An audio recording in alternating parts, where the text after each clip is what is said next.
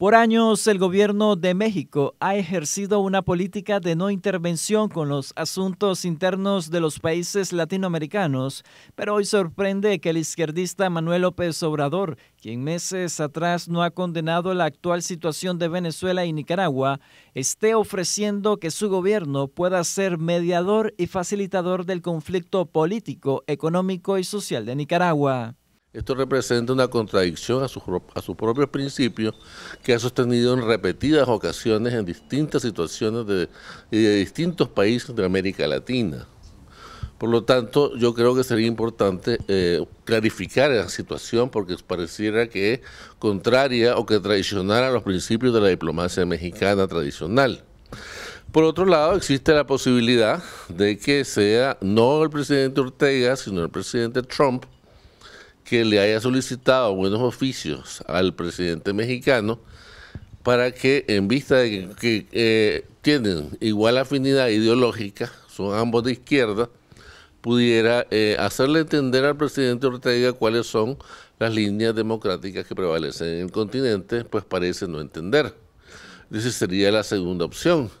Y por lo tanto yo creo que la participación mexicana en esto tendría que clarificarse lo antes posible y sobre todo las líneas de, gobierno y de política exterior del presidente mexicano, que por lo reciente de su ascensión y por los múltiples problemas que enfrenta al interior, no ha tenido la posibilidad de esclarecer de darse las condiciones para restablecer nuevamente el diálogo nacional en Nicaragua y teniendo como interlocutor al gobierno mexicano, no significa que se le estaría dando al presidente Daniel Ortega una válvula de escape para la impunidad de los asesinatos de jóvenes universitarios y manifestantes, afirma Mauricio Díaz.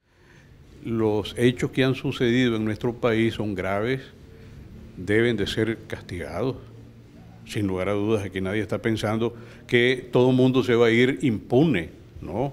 Tendrá que haber un proceso que necesariamente va a pasar por una palabra que le cae mal a mucha gente, que se llama diálogo.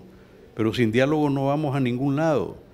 Y producto de ese diálogo, producto de lo que se había venido avanzando en materia de justicia, democratización, adelanto de las elecciones, volver a consultarle al soberano. ¿Quién es el soberano? Es el pueblo nicaragüense.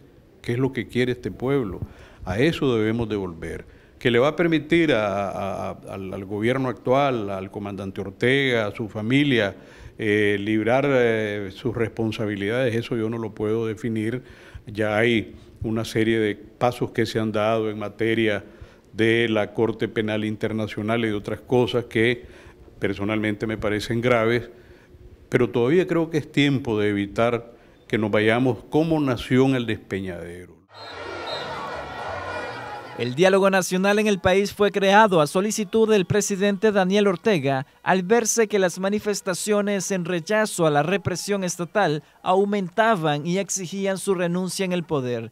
Tras el diálogo entre el gobierno, empresarios, sociedad civil, campesinos, Iglesia Católica y universitarios, la Organización de Estados Americanos OEA solicitó formar parte del mismo, pero los representantes del gobierno rechazaron dicha solicitud.